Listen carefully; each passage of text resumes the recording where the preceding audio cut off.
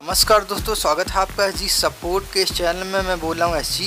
Friend, जैसा कि आप देख पा रहे हैं, यहाँ पे रखा हुआ है त्रेसमे का used by professionals S S smooth and shine shampoo. Friends, आज मैं इसका रिव्यू देने वाला हूँ क्योंकि ये बेसिकली कंटेन करता है vitamin H and silk protein जो कि आपको, आपके बालों को मजबूती देता है और साथ ही साथ आपके बालों को शाइनिंग देने के लिए भी बहुत ही ज़्यादा कारगर होता है। फ्रेंड्स मैं बता देना चाहता हूँ कि ये मल्टीपर्पज़ तरीके से यूज़ किया जा सकता है क्योंकि कुछ लोग चाहते हैं कि उनके बाल मज़बूत बने रहें, झड़ना कम हो जाए डेंड्रफ की समस्या दूर हो जाए और जबकि कुछ लोग सोचते हैं कि उनके बालों में केवल स्मूथनेस रहे और उनके बाल गुड लुकिंग शाइनिंग दिखें और साथ ही साथ किसी भी तरीके का चिपचिपाहट या फिर कोई अन्य प्रॉब्लम ना हो उनके बालों पे। तो ये मल्टीपर्पज़ तरीके से वर्क करने वाला हो, वाला है, इसलिए आज मैं इसका रिव्यू दे रहा हूँ।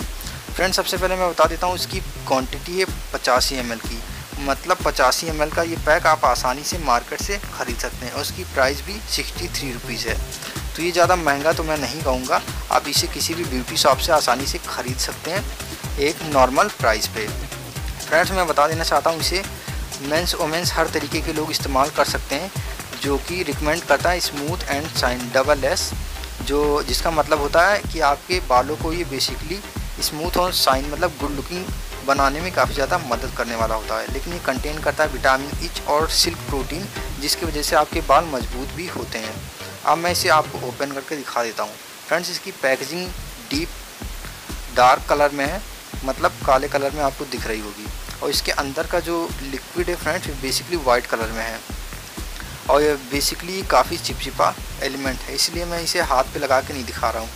फ्रेंड्स, आप इसका इस्तेमाल करें तो थोड़ी सी मात्रा में लें और ये काफ़ी ज़्यादा झाग पैदा कर देता है और काफ़ी अच्छा होता है इस्तेमाल करने में।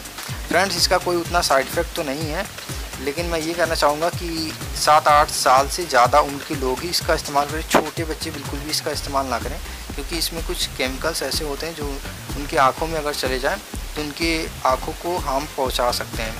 बेसिकली ज़्यादा हार्ड तो नहीं होता है, लेकिन मैं कहूँगा कि आप बच्चों के पास से दूर ही रखें।